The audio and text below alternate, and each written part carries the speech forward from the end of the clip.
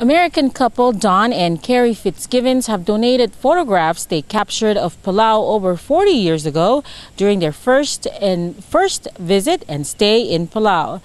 Some of those photos were donated to the Belau National Museum.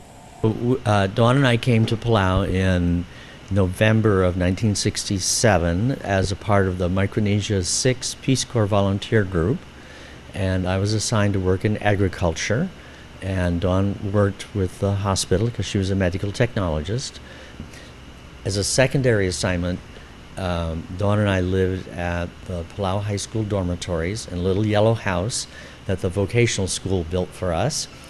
And our responsibilities were to supervise the students on the weekends and make sure they maintained their curfew.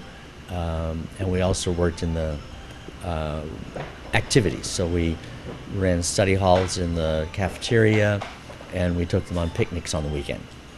But we took pictures just of the experiences we were having, the things that we thought were interesting. And of course, at that time in Koror, there was no tourists, no diving. Uh, there were only two hotels. Uh, there were no roads on Babeldaob except from the ferry dock to the airport. And um, so we just took pictures that we were experiencing day to day.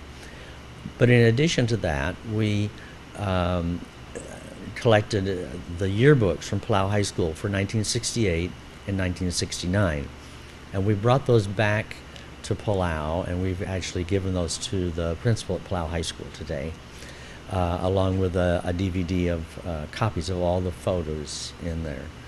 Um, Dawn and I um, didn't come back to Palau uh, until 19 until excuse me from 1969 until 2011. We came on a holiday, and we decided then that we needed to return to Palau to work. So we we came back in January of 2012, and we're now going back to the states. We've been here three years, and at, during that time, I worked with the Preparedness Office of Public Health, and Dawn worked as the epidemiologist in public health.